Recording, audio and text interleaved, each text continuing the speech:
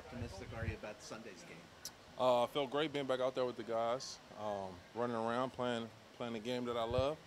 Um, just working, we're working. You know, trying to trying to get ready, get get healthier, and get close to being back out there full time. He said, how, how, how will you know?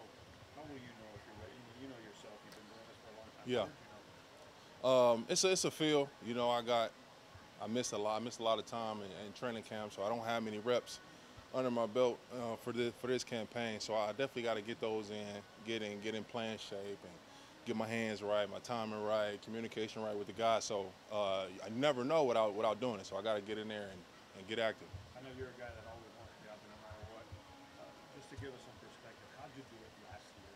How'd you do it last year? Yeah. Um, see, I was able to get some some camp work in, and then um, getting banged up week one, it just it just goes to my preparation, doing a doing a lot more uh, film study, understanding my limitations physically, and then um, you know my off the field preparation as well with the strength staff and the uh, training staff to make sure that I'm ready to ready to roll.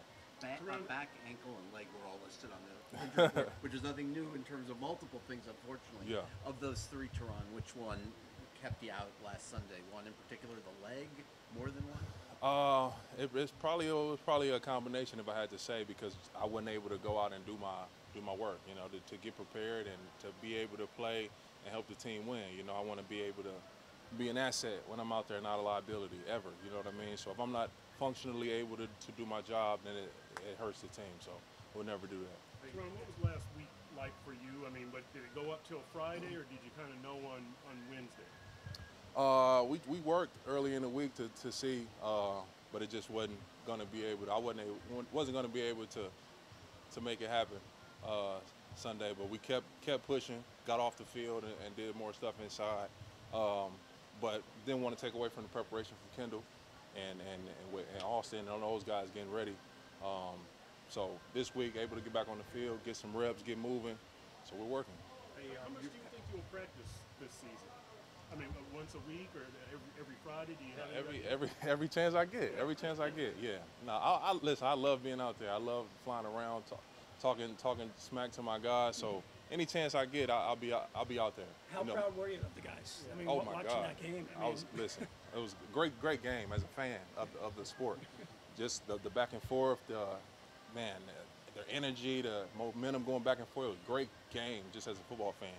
But you know, we winning, us winning, just man, I was going crazy, crazy. hey, hey, Terron, so you said as a fan, you were sitting there, you heard the, the crowd, right? Yeah. It was great. I thought it was pretty crazy. Yeah, Tua, Tua, Reek, uh, all the guys was talking about like it was like a home game.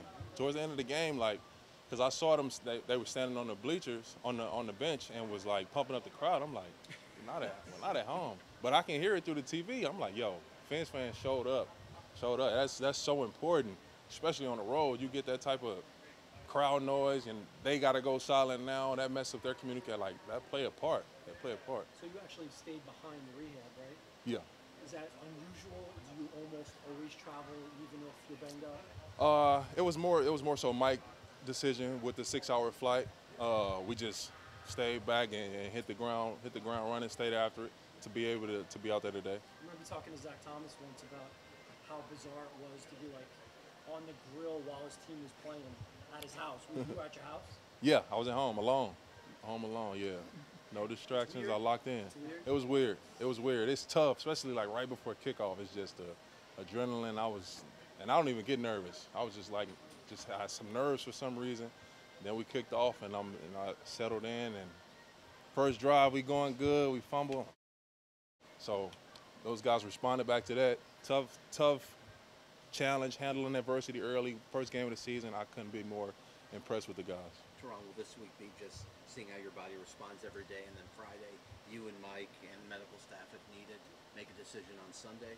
I'll be back out there tomorrow, hitting it, hitting it full speed, just trying to get game ready.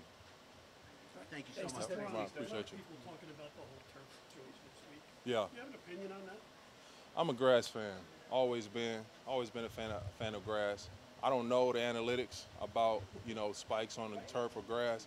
I'm a fan of grass. I played this game forever since I was five year, five years old on grass, so I'm always been a fan of it.